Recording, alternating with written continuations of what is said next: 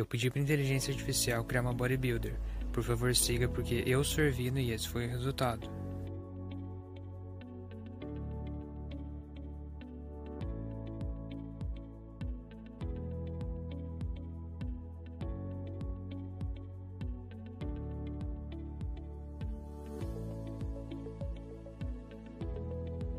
Se gostou, deixa o like, um comentário e